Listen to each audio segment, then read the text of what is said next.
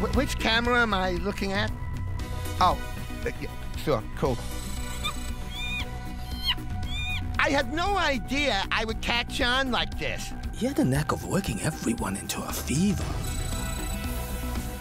Take as long as you like, baby cakes. No, no, no, no, no, no, no.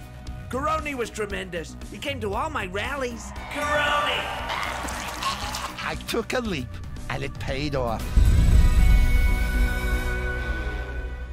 I was a young microbe back then, playing to small crowds in wet markets. Oh, sure, those wet markets were a breeding ground for talent. It was all swine flu this and bird flu that. No one had done batch to human. Suddenly, I was on the move. I was catching. Yeah, I was on tour. First, Italy. Then I hit the cruise ship circuit. The oldies loved me. I was everywhere. Me, a little microbe from Wuhan. I was a hit in Europe and Asia, but I was nervous about breaking into America. But boy, the Yanks couldn't get enough of me. I got a personal tour in Trump's motorcade You're a great virus. A lot of people are saying that, by the way. and a meet and greet with his staff. I'm the biggest guy in town, but that dude knocked me for six. Hey! He was really into me, too. Why don't I get an interview? Why can I never do this shit alone?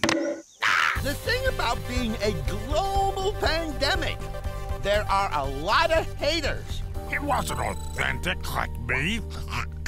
He was manufactured, made in a lab. I was down with the pigs. I ain't gonna lie, there were a lot of drugs around. Cheers, fellas, to my very good health.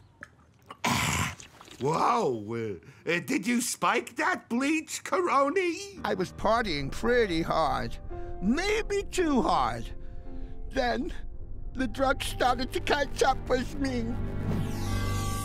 I thought it was the end. I had to reinvent myself. Then it hit me. Variants. I started to travel again. Brazil, South Africa, Kent. You ain't seen the back of me yet. I've still got a couple of surprises up my sleeve. See you on my tour.